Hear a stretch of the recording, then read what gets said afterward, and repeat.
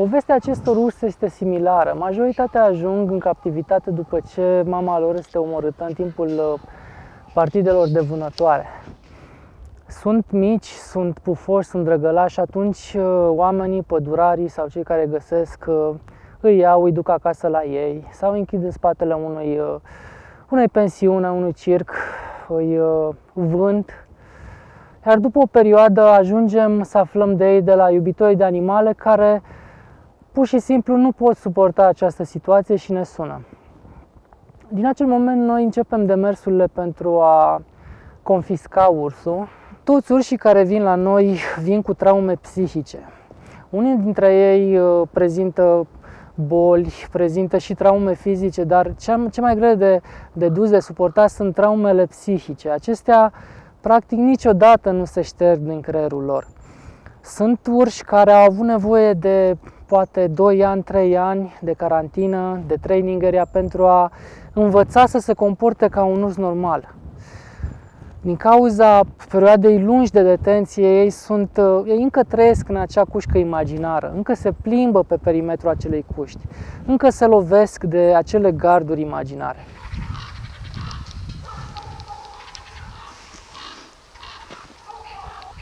Sanctuarul Liberty a fost creat în urmă cu șapte ani și a ajuns în prezent uh, cea mai mare rezervație de urși bruni din Europa.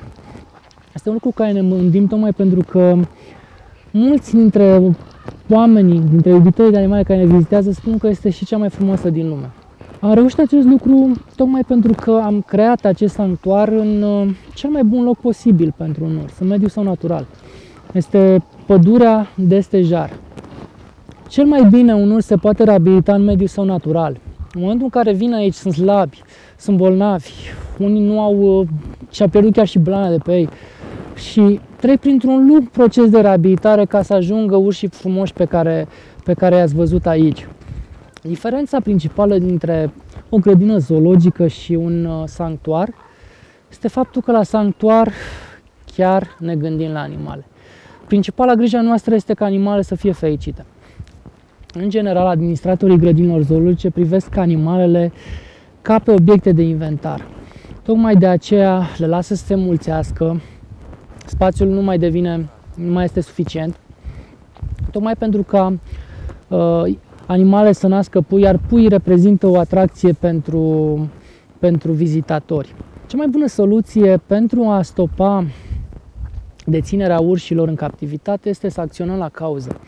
Tocmai de aceea Asociația Milioane de Prieteni speră ca din primăvară să înceapă o acțiune de castrare a animalelor din grădinile zoologice. O acțiune la nivel național prin care încercăm să diminuăm populația, să încercăm să reducem suprapopularea grădinilor zoologice.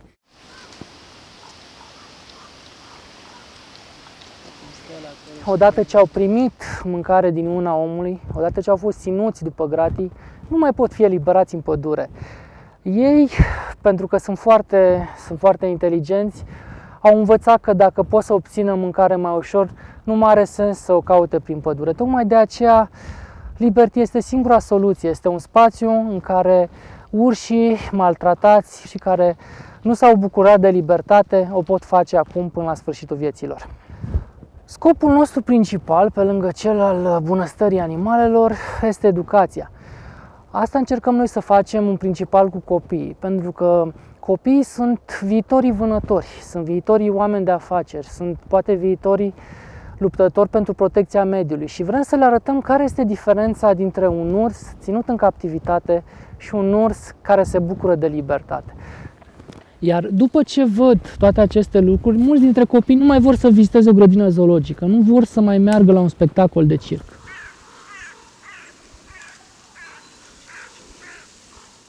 În decurs de șapte ani de zile, milioane de prieteni au reușit să salveze 70 de urși. Totuși, lupta nu este încă terminată. Mai există încă în România cazuri de urși deținuți fără acte legale. Sunt cazuri penale. Avem de face în județul Arad cu un caz, este vorba de singura fermă de urși din Europa. Acolo sunt ținuți în spatele gratilor șapte urși. Ei provin, părinții lor provin de la grădina zoologică din Brașov, pe care a cumpărat în 1992, înainte ca România să adopte Convenția de la Berna. privind speciile protejate.